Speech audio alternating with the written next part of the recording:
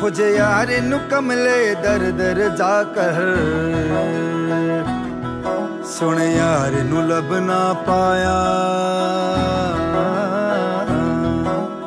ਇਸਕ ਹਿਜਰ ਕਿਤਾਬੀ ਗੱਲਾਂ ਤੇਰਾ ਯਾਰ ਤਰਫ ਮੈਂ ਸਮਾਇਆ ਹੋ ਤੇਰਾ ਯਾਰ ਤਰਫ ਮੈਂ ਸਮਾਇਆ ਤਰਫ ਮੈਂ ਸਮਾਇਆ ਤੇਰਾ ਯਾਰ ਤਰਫ ਮੈਂ ਸਮਾਇਆ।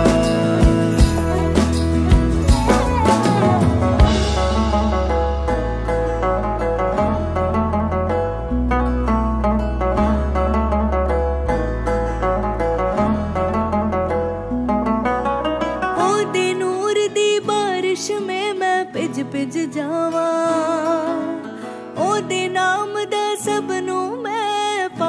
ਪੜਾਵਾਂ ਮੈਂ ਤਾਂ ਯਾਰ ਨੂੰ ਆਪਣਾ